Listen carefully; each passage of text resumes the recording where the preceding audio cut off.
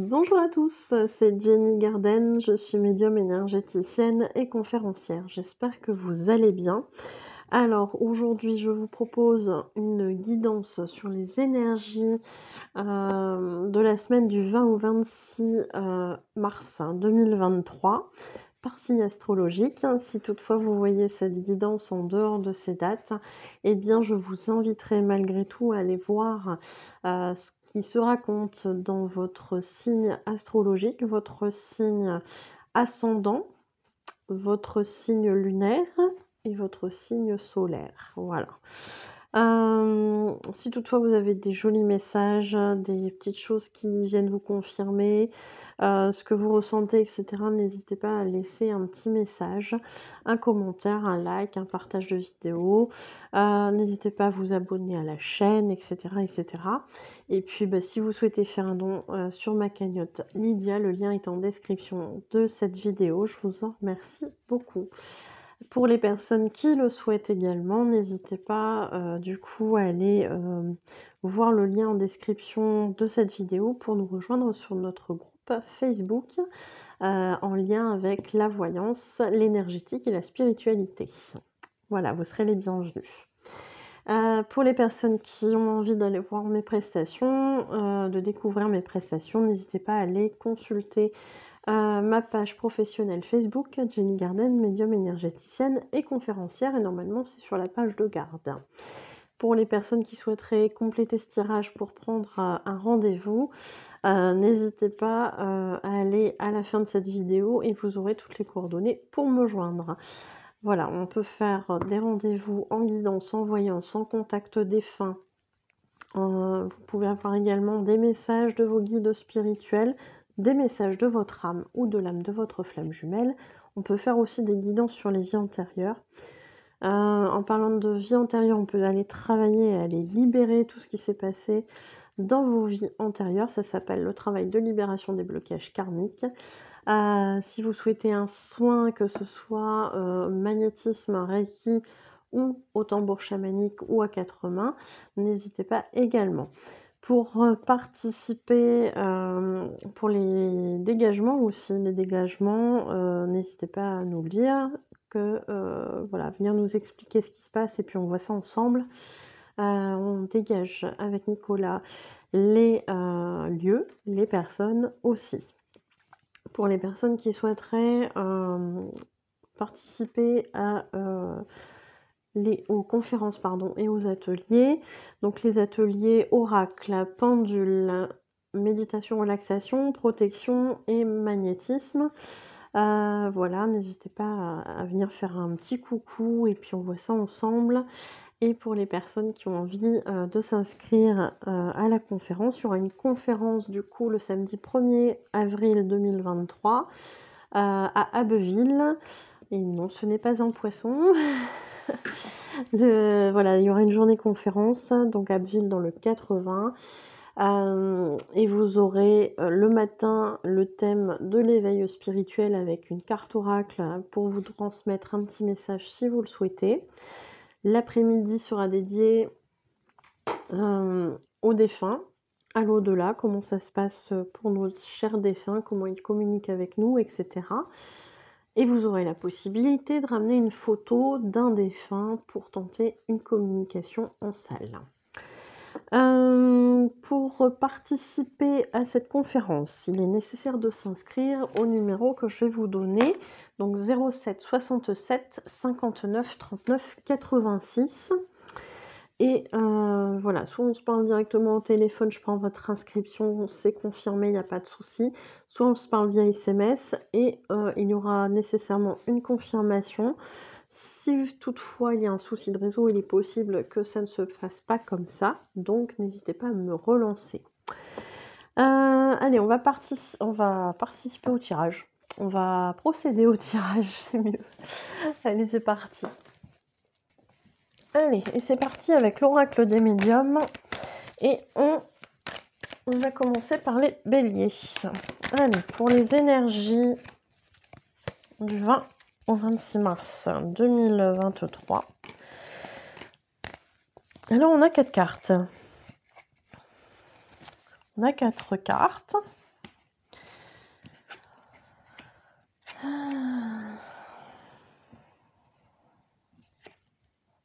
Mettrai plutôt ici.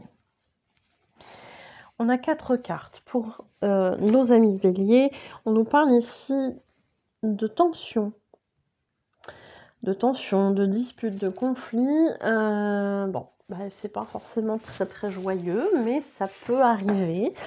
Euh, pour autant, j'ai pas l'impression qu'il y ait des conséquences dramatiques à ça, puisque ici on vous parle d'une transition avec le pont pour une transformation. Alors ici, on a la mort. Euh, euh, bon, on est d'accord qu'a priori, c'est plus une mort symbolique, normalement. Je vous souhaite. Euh, sinon, il y a un souci. Mais voilà, on est plus sur une mort symbolique, quelque chose qui se transforme pour justement des jolis projets à côté. Alors, on est soit sur une situation ça peut être plein de choses, ça peut être plein de domaines. On est sur euh, une guidance générale ici, donc euh, soit on est sur du professionnel, soit on est sur du sentimental, soit on est sur euh, pourquoi pas du spirituel aussi. Hein, voilà, il est possible aussi qu'on soit là-dedans. donc ici, cette carte de la cigogne vient annoncer des choses nouvelles, un nouveau départ, un projet, quelque chose comme ça. en tout cas, un renouveau, ça c'est sûr. C'est pas forcément un enfant. Euh, c'est pas forcément une grossesse qu'on pourrait l'entendre, s'y attendre avec cette carte, mais voilà, quelque chose. Euh, en tout cas, il y, a une tension, il y a quelque chose qui vient se rompre. On passe par un stade de transition qui va nous amener à quelque chose, à évacuer quelque chose en tout cas, euh, à évacuer, à se libérer d'une situation, de quelque chose pour un renouveau. Donc, allez, courage les béliers, ça va bien se passer. Allez, pour les taureaux, ben, les cartes sont déjà tombées, donc euh, les énergies de la semaine du 20 au 26 mars. Pour les taureaux, donc on nous parle ici de déplacement et on nous parle de campagne.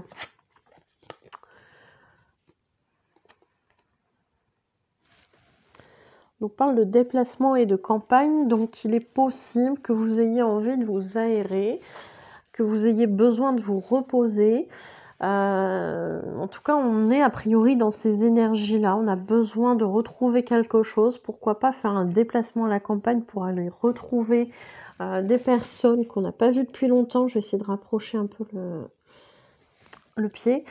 Euh, pour retrouver pourquoi pas des personnes euh, voilà, qu'on n'a pas vues depuis longtemps ou de la famille, etc. Et on vous dit ce, ce voyage vous sera bénéfique avec la carte des poissons. Euh, le poisson, la carte des poissons, c'est souvent relié à l'abondance. Donc c'est positif. Faut pas hésiter les taureaux. Allez, pour les Gémeaux, quelles sont les énergies du 20 au 26 mars 2023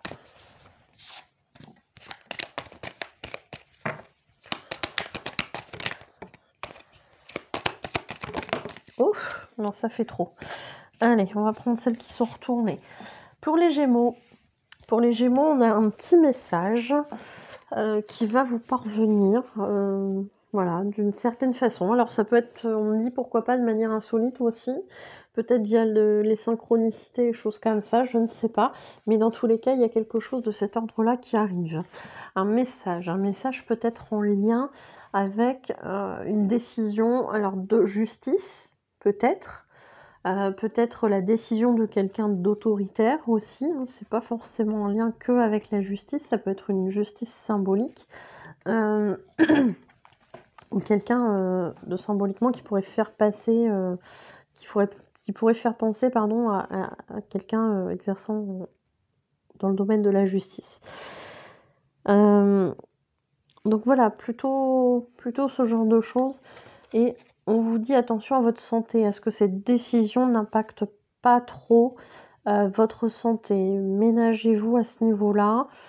Bon, vous êtes... Euh, on est dans, une guidance générale, donc vous ne serez peut-être pas tous concernés par, euh, par ce message-là, mais a priori, voilà, ménagez-vous, ménagez votre santé, ménagez votre, votre état mental, hein, surtout. Hein. On parle beaucoup de, perturbations au niveau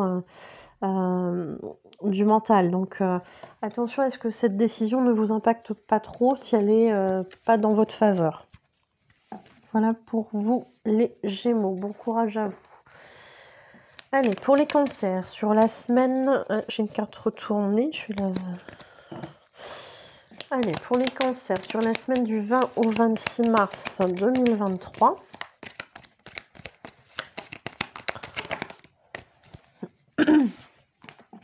On a quatre cartes pour les cancers. Alors, pour les cancers, on nous parle ici de la Lune. Peut-être faire attention au niveau de la Lune, il y a peut-être une sensibilité particulière euh, qui va être accrue lors des pleines lunes ou des nouvelles lunes. Euh, si vous n'avez jamais prêté attention à ça, c'est peut-être le moment de le faire. Euh, essayez de voir quelles sont les influences de cette, de cette lune sur vous, quand elle est pleine ou quand elle est nouvelle. Il y a peut-être des choses à comprendre. Il y a peut-être aussi des choses à aller puiser euh, dans certaines énergies, euh, notamment nouvelle lune, euh, où justement on pourrait aller puiser une force supplémentaire. Alors, je dis toujours que lors des nouvelles lunes, il est possible de faire ce qu'on appelle un chèque d'abondance. je vous mettrai pourquoi pas la vidéo sur les chèques d'abondance. Je vais vous le mettre, je vais me faire un petit pense-bête.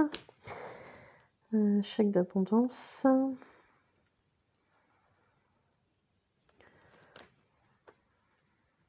je vous mettrai la vidéo en haut à droite. Euh, donc il est possible via ce chèque d'abondance de poser des intentions pour aller de l'avant, pour euh, commencer des nouveaux projets, des nouvelles relations, euh, pour mettre en route quelque chose en tout cas. Et on en parle ici d'avoir cette force ou d'avoir une force supplémentaire lors de certaines phases de lune. Moi j'aurais tendance à dire la nouvelle lune à voir quelles sont vos réactions, parce que peut-être que la pleine lune vous aiderait aussi à avoir la force euh, d'aller évacuer justement, à clore des chapitres, etc., puisque on est dans ces, dans ces démarches-là pour la pleine lune. Donc en tout cas, visiblement, elle pourrait vous amener de la force pour clore des choses ou pour commencer des nouvelles choses. On parle ici de l'arbre. Alors on parle de l'arbre de vie, de vitalité, je ne sais pas si ça vous parle. Peut-être que l'arbre de vie, c'est un symbole pour vous qui est important, je ne sais pas. Mais dans tous les cas, euh, visiblement, on, vous parle de l'arbre. Alors l'arbre, euh, il peut être source de force aussi. Hein. Pourquoi pas aller vous recharger dans la nature euh, Pourquoi pas méditer aussi sous, sous, un arbre qui vous appelle Je ne sais pas. mais en tout cas, on vous dit qu'ici, en termes de méditation, vous aurez des clés des clés de compréhension sur des choses. N'hésitez pas à, méditer justement. Alors peut-être que la nature vous donnera des, réponses supplémentaires. Euh, mais dans tous les cas, euh, la clé, vous aurez des réponses euh, si vous posez une intention au départ de votre méditation. C'est-à-dire que s'il y a un problème qui vous chagrine, euh, s'il y a des choses, des questions que vous vous posez, ben, n'hésitez pas à, méditer sur ça, sur ces choses-là. Euh, avoir vraiment cette intention d'avoir soit une réponse, soit un conseil, euh, et, et, vous l'aurez, vous l'aurez.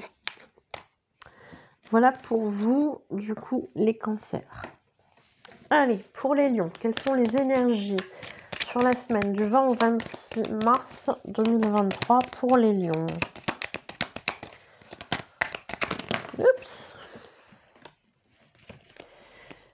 Allez, il m'en faut deux. Allez, pour les lions.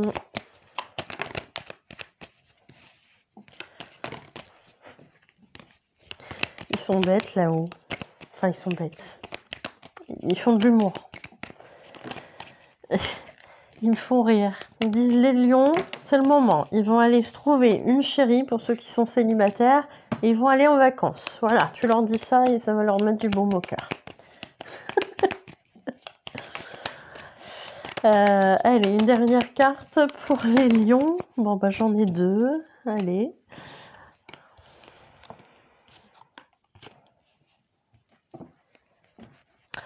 Alors, les lions. Sur cette semaine 20 26 mars 2023, on vous parle ici de cocotiers.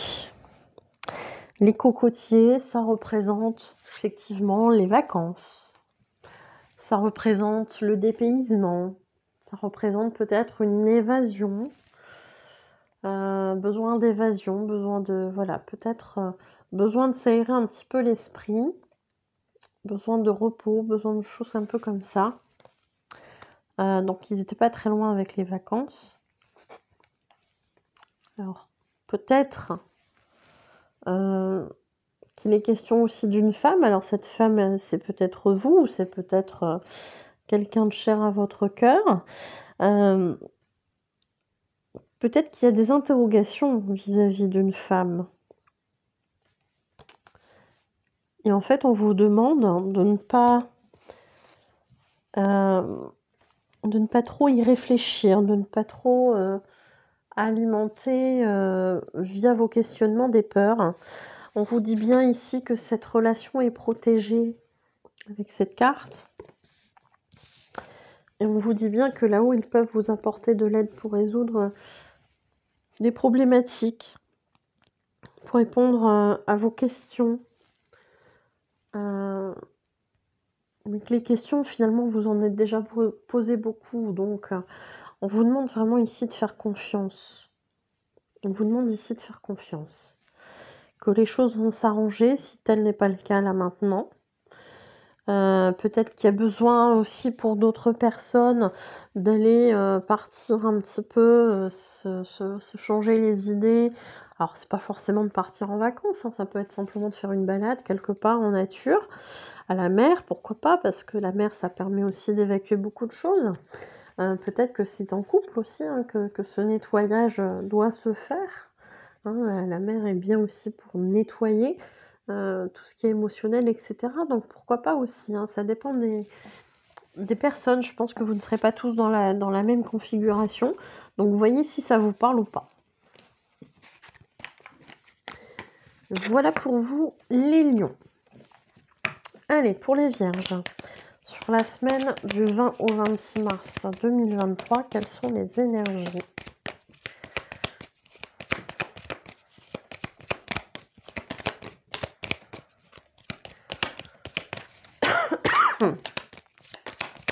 Excusez-moi.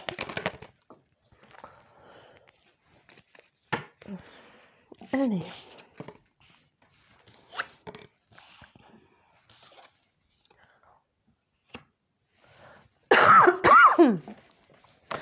Alors, pour les vierges, ici on nous parle du travail.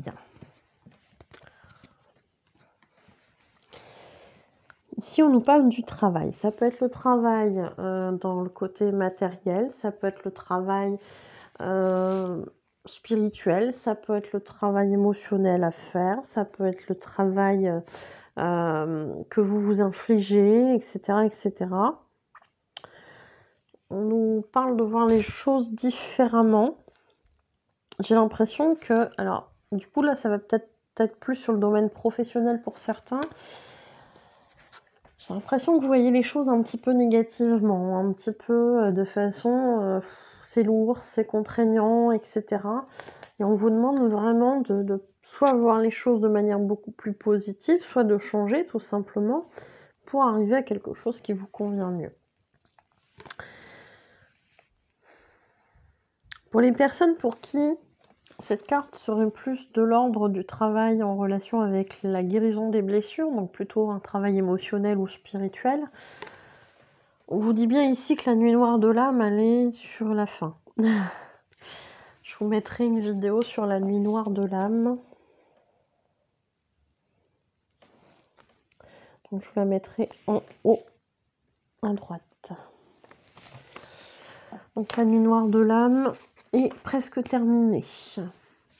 Vous vous dirigez vers une nouvelle transformation, vers quelque chose qui vous correspond beaucoup mieux. Donc, euh, ne restez pas figé sur des, choses négatives. Euh, voilà pour vous les vierges. Allez, on continue avec les balances. Quelles sont les énergies sur la semaine du 20 au 26 mars 2023 Alors, on a eu beaucoup de, de cartes là qui sont tombées. Je n'ai pris que celles qui se sont retournées. Alors, bon, attention. Attention parce qu'ici on nous parle du mensonge. On a la carte ici de l'homme. L'homme euh, qui va être soit concerné par ce tirage, donc qui peut être vous ou quelqu'un euh, que vous connaissez, avec qui vous êtes en relation, etc. etc. Euh, la carte du mensonge me fait penser aussi beaucoup à quelqu'un qui s'autorise pas forcément à dire les choses, à s'opposer, à, dire, à pas dire, euh, à dire s'il est d'accord ou pas d'accord, etc. Il y a une histoire de de non-consentement quelque part. Alors pas forcément sur des choses extrêmement graves, mais il y a peut-être une forme d'abus ici. Hein. Attention abus de pouvoir, abus, euh, abus dans le côté un petit peu manipulation, ce genre de choses. Donc attention à vous. Il est question ici d'un contrat, donc faites attention, faites attention, petite ligne. Euh, contrat qui est ici euh, confirmé par l'alliance. Donc soit effectivement on est sur un contrat professionnel pour certains, on va peut-être cacher, mentir sur des éléments. Faites attention à vous soit on est sur un contrat en lien avec le côté sentimental. Donc attention euh, dans quelle relation vous vous mettez. Vous ne serez bien évidemment pas tous concernés, mais le message est ici. Donc attention à votre relation, tout ce qui peut être toxique, etc. Attention à vous, les balances. Je vais reprendre des cartes parce que j'en ai plus beaucoup. Je vais reprendre celle du dessus. Voilà. Allez, pour les scorpions, quelles sont les énergies de la semaine du 20 au 26 mars 2023 Allez, pour les scorpions,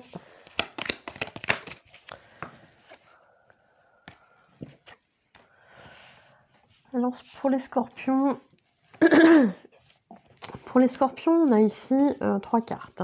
On a la carte de la justice, peut-être qu'il y a une décision qui doit être prise, que ce soit par la justice ou par vous. Euh, et on a la carte ici de la lune. Et en l'occurrence, elle semble pleine, cette lune. Donc on partirait sur quelque chose que l'on doit clore. Euh, pour justement avancer également sur du positif. On avait un peu le même genre de message, je crois, euh, pour les béliers, me semble-t-il. Mais voilà. Donc il est important de clore des choses avant de passer à autre chose. Attention à vous, les scorpions, prenez bien ça en compte. Peut-être aussi qu'au niveau émotionnel, il y a des choses à comprendre avec la lune. À voir comment ça vous parle. Allez. Pour les Sagittaires, hein, quelles sont les énergies de la semaine Pour les Sagittaires, donc la semaine du 20 au 26 mars 2023. Bon. Allez, pour les Sagittaires. Pour les Sagittaires, ici, on nous parle du coup... Euh, Alors, dans, certaines cultures, le corbeau est un messager. Pour certaines cultures, le corbeau est un messager, mais dans le mauvais sens. Il annonce des mauvaises nouvelles, des choses comme ça. Ce qui n'est pas forcément toujours le cas dans d'autres euh, civilisations, dans d'autres... Euh, je vous ai dit le mot juste avant, mais je, l'ai oublié. ça, ça ne va plus. Voilà, dans, certaines croyances, il est positif, dans d'autres, il est négatif j'ai envie de dire, voilà, prenez euh, le sens dans lequel ça vous parle là maintenant. Euh, on vous annonce pourtant des choses positif. On a le soleil, on a ici la maison. La maison, euh, voilà, ça peut être soi, ça peut être l'extérieur, ça peut être vraiment un bien immobilier, etc. Et on vous dit attention parce qu'il y a des choses toxiques ici. Alors, moi j'ai l'impression de comportements qui peuvent être toxiques. Euh, attention à vous, il y a peut-être des façons de faire, des comportements que vous avez qui ne sont pas forcément toujours très positifs pour vous. Le pire, c'est que j'ai l'impression que vous le savez, mais il y a peut-être des, choses qui se mettent en place inconsciemment et qui vous poussent à avoir ces comportements un petit peu toxiques. On vous dit, voilà, faites attention à ça, faites attention à ça, faites attention à ce message, euh, essayez de vous complaire peut-être un peu plus dans des énergies positives plutôt que de toujours voir les choses de manière négative. Ce, négatif, c'est le poison, hein, le poison qui va venir euh, dans votre inconscient, qui va venir vous polluer, etc. et attirer à vous du coup du négatif via la loi d'attraction. Donc attention à vous les Sagittaires. On pense positif. Allez, pour les Capricornes. Allez, pour les Capricornes, quelles sont les énergies du 20 au 26 mars 2023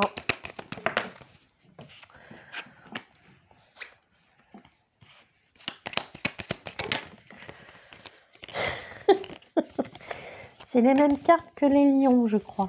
À une, à une carte près. je suis désolée, j'ai un chat dans la gorge. Euh, bon, les Capricornes, repos, protection, énergie féminine. On parle d'énergie féminine. Euh, les Capricornes, les énergies féminines peut-être à travailler. Euh, j'ai l'impression que les Capricornes ces derniers temps ont beaucoup été dans l'action, ont beaucoup été dans le, dans le, dans le mouvement, dans le speed, etc. Et ici, on vous demande de faire travailler votre énergie yin, de rétablir une certaine forme d'équilibre par rapport à tout ça, parce que il y a besoin aussi d'apprendre à prendre le temps, à accueillir, à réceptionner, etc., etc. Donc si vous avez la possibilité d'aller vous poser quelque part, alors des vacances, idéalement, mais une sortie à la rigueur, une balade, quelque chose qui va vous faire du bien en nature, euh, pourquoi pas? Pourquoi pas hein? Ça va vous faire du bien. Hein. Euh, on vous parle ici de protection, donc euh, je pense que vous êtes protégé par là-haut. Euh, vous le savez certainement déjà. Donc, euh, j'ai envie de dire, euh, voilà, il y a, peut-être un petit, signal de là-haut pour dire, bon bah voilà, tu, as bien travaillé, maintenant tu, tu, te poses un peu, tu accueilles, tu réceptionnes, tu, voilà, tu, tu, tu ralentis le rythme. Allez, c'est parti pour les versos. Quelles sont les énergies de la semaine du 20 au 26 mars 2023 les versos?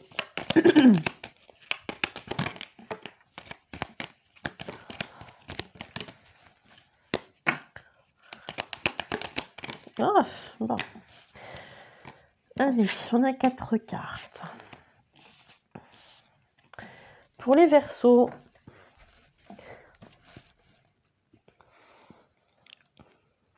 pour les versos, on a la carte ici du travail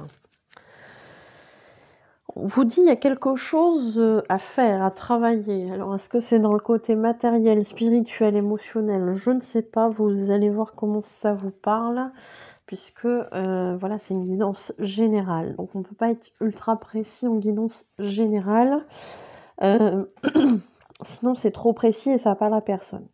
Donc il y a des choses à travailler, des choses à travailler sur vous ou dans votre vie. Euh, ça peut être quelque chose de matériel, ça peut être le travail tout simplement, au sens du professionnel. Euh, mais il y a quand même la notion d'avoir cette force en soi pour dépasser beaucoup de choses. On vous demande finalement de prendre conscience de vos capacités, de vos capacités de faire, mais aussi de votre force intérieure. Vous avez en vous toutes les clés, toutes les clés pour réussir ce que vous allez entreprendre. Euh, beaucoup de versos, j'ai l'impression, sont en train de stagner parce que euh, il y a des doutes qui sont là. Doutes notamment sur leur capacité de faire ou de pas faire. Ne restez pas là-dessus, ne restez pas sur ces doutes-là. Euh, ne restez pas là-dessus, c'est vraiment le message. C'est vraiment le message. Donc, continuez à avancer, continuez à cheminer, les choses vont bien se passer. On vous parle d'abondance avec la carte des poissons. Hein. Donc, euh, faut pas hésiter non plus à aller, euh, aller de l'avant. Hein. Euh, voilà, ne, vous laissez pas bloquer par vos peurs, les, les versos. Allez, pour les poissons, quelles sont les énergies de la semaine du 20 Ah, je l'ai mis dans le mauvais sens. Du 20 au 26 mars 2023 pour les poissons.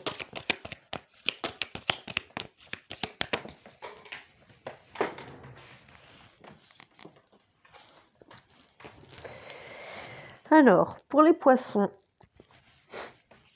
on vous parle ici d'un déplacement à faire. On vous parle peut-être d'un voyage, mais ça résonne plus en termes de déplacement.